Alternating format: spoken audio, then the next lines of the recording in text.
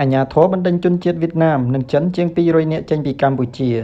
អាញាធរកម្ពុជាកាលពីថ្ងៃទី23កញ្ញាបានបណ្ដេញជនជាតិវៀតណាមនិងជនជាតិចិនជាង200នាក់ចេញពីប្រទេសខណៈដែលរកឃើញថាពួកគេបានលួចស្នាក់នៅក្នុងប្រទេសកម្ពុជាដោយខុសច្បាប់យ៉ាងណាមិញគូក៏សម្គាល់ថាការបណ្ដេញជនអន្តោប្រវេសន៍ខុសច្បាប់ចេញពីប្រទេសពេលនេះកើតឡើងចំពេលដែលអាញាធរកម្ពុជាបាននឹងកំពុងចេញបានស្នាក់នៅអចិន្ត្រៃយ៍ដល់ជនបរទេសស្នាក់នៅកម្ពុជា។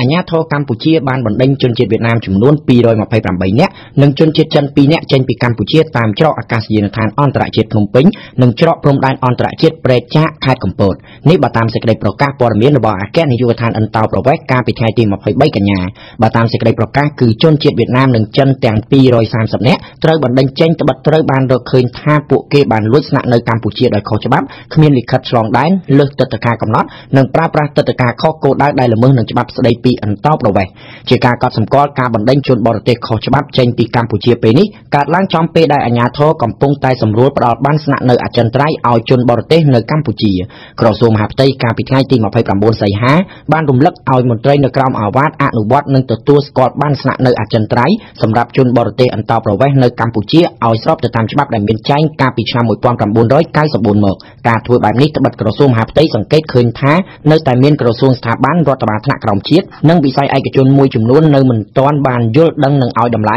ការប្រើប្រាស់បានស្នាក់នៅអចិន្ត្រៃយ៍របស់ជនបរទេសអន្តោប្រវេសន៍នៅឡើយក៏ប៉ុន្តែការផ្ដល់បានស្នាក់នៅអចិន្ត្រៃយ៍ដល់ជនបរទេសនេះត្រូវបានតំណាងប្រជាពលរដ្ឋមួយចំនួនដាក់លិខិតជំទាស់ទៅក្រសួងហាផ្ទៃកាលពីថ្ងៃទី19កញ្ញាញត្តិជំទាស់របស់ពួកគេលើកឡើងថាការធ្វើដូច្នេះនឹងនាំឲ្យបាត់បង់ប្រយោជន៍និងនាំឲ្យមានហានិភ័យដល់សង្គមជាតិហានិភ័យដែលក្រុមតំណាងពលរដ្ឋលើកឡើងថាជាប្រភពអសន្តិសុខសង្គមតួយ៉ាងដូចជាបទល្មើសចោរកម្មជួញដូរគ្រឿងញៀនជួញដូរមនុស្សនិងលាងលុយកខ្វក់លាក់និងលាក់គួរបញ្ជាក់ថាគិតមកដល់ពេលនេះអាជ្ញាធរកម្ពុជាបានសម្រួលផ្ដល់បានស្នាក់នៅដល់ជនអន្តោប្រវេសន៍យ៉ាងតិច60000នាក់ដែលមានអាយុ18ឆ្នាំឡើងទៅខណៈដែលជនអន្តោប្រវេសន៍ប្រមាណជាង10000នាក់កំពុងស្នាក់នៅក្នុងប្រទេសកម្ពុជាដោយខុសច្បាប់មិនបានធ្វើលិខិតសុំបានស្នាក់នៅ